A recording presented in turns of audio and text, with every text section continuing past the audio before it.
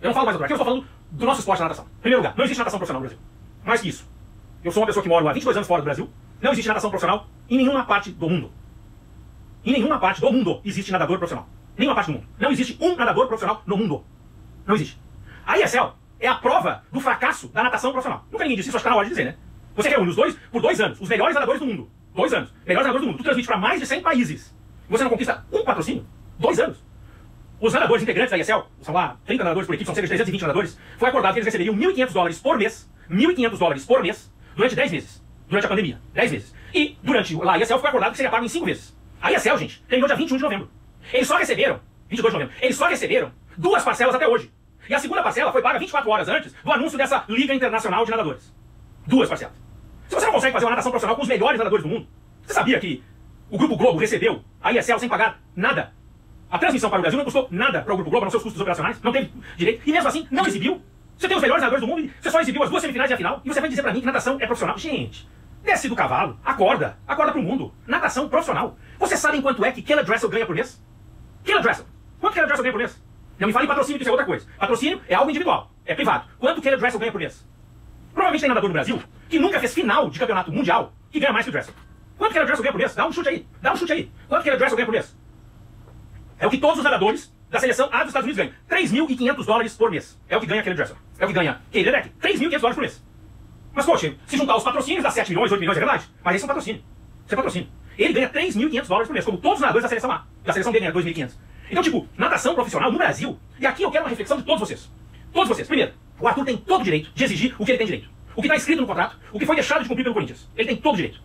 Natação profissional, eu acho que estamos cruzando um pouco a linha. E mais, pra quem conhece o Corinthians, parece que até o André saiu, né? Porque se ele estivesse lá, a primeira reação não é profissionalizar a natação do Brasil, não. É acabar com a natação. A natação do Corinthians acaba no outro dia. No outro dia. Galera, aqui deve ter gente, deve ter pai e deve ter nadador mirim petis infantil aqui. Natação não é profissional em lugar nenhum do mundo.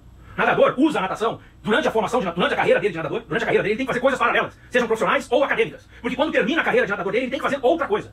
Nós não temos sustentabilidade. O nosso esporte não tem sustentabilidade. O nosso esporte não tem sustentabilidade. Faça as contas, quem é mais antigo deve se lembrar quantos clubes do Brasil investiam nos atletas há 15 anos, há 20 anos. Hoje, cortou por um terço. A atleta que recebe dinheiro de clube hoje deve ser 5, 6, no máximo.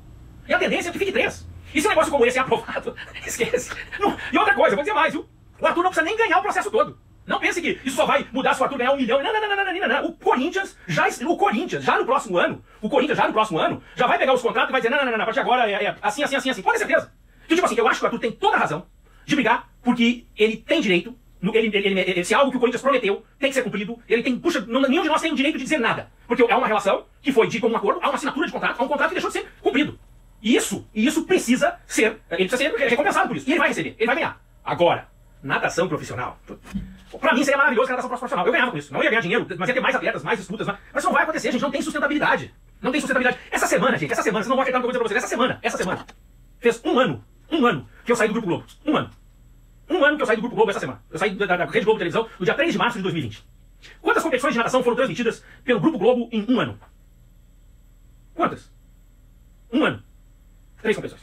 As duas semifinais e a final da ISL. Em um ano. O nosso esporte, ele não tem visibilidade, ele não tem sustentabilidade. Falar em natação profissional é da boca para fora. É da boca para fora. Parem de sonhar, parem de falar bobagem, parem de falar bobagem, parem de, de, de sonhar com coisas que não têm sentido. A verdade é, o Arthur tem direito em buscar o que ele tem direito 100%. Ninguém pode dizer nada disso. Como vários de vocês têm os direitos de vocês. Mas à medida que isso cruza essa linha, agora, se ele tiver elementos, é o juiz que vai determinar. O risco aqui são dois. Um é de entender, e, o do, e, e aí ter que arcar com os custos disso. E o risco número dois são os próprios clubes. Ah, é, a partir de agora acabou esse negócio de, de natação aqui, vamos cortar, agora só nada sócio, agora tem que pagar. É, porque é o caminho, não há dúvida disso. Mas você pode ter certeza que hoje, talvez nos campeonatos brasileiros, 80% dos nadadores que participam do campeonato brasileiro hoje pagam mensalidade para nadar. E esse percentual tem aumentado a cada, a cada ano. Né? O Corinthians é um que não cobra, pelo contrário, o Corinthians banca os atletas. Uma, ações como essa fazem o Corinthians fugir. E aqui eu quero falar só uma coisa, é, que é importante, viu? Muito importante. De novo, é, gosto demais do Arthur, conheço ele dessa maneira, tenho um carinho muito grande por ele. Mas também conheço muito bem os profissionais do Corinthians. Eu conheço muito bem os treinadores envolvidos no Corinthians. Muito bem. E nenhum deles é, é mau profissional. Nenhum deles é mau caráter, inclusive. Todos são grandes profissionais, eh, desempenham com atenção todo o trabalho deles, e eu, eu sou, olha, sou fã de todos eles. Admiro. É, alguns até têm maior proximidade, outros têm um pouco menos. Não posso ser que sou amigo de todos, não é, não por esse lado, também não mudaria nada. Estou falando da parte